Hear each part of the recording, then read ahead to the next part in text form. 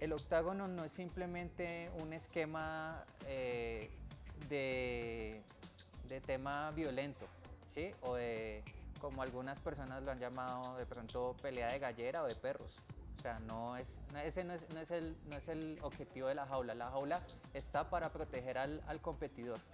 Incluso para también poder él ayudarse a mirar opciones para salir de una situación de aprieto dentro de la jaula o dentro del octágono. Eh, ¿Qué sucede?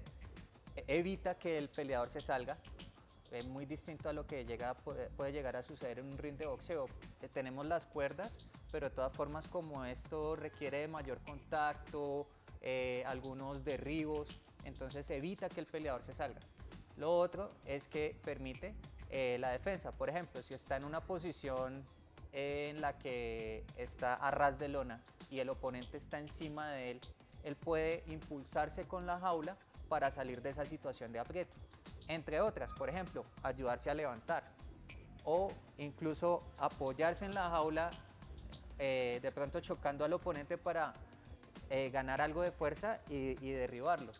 Entonces, la jaula juega un papel muy importante y es un papel más bien de aspecto técnico y aparte de ello de protección para el competidor.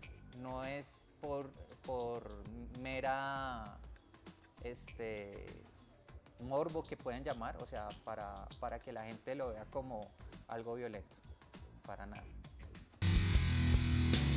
Síguenos en Twitter como arroba revista bombea.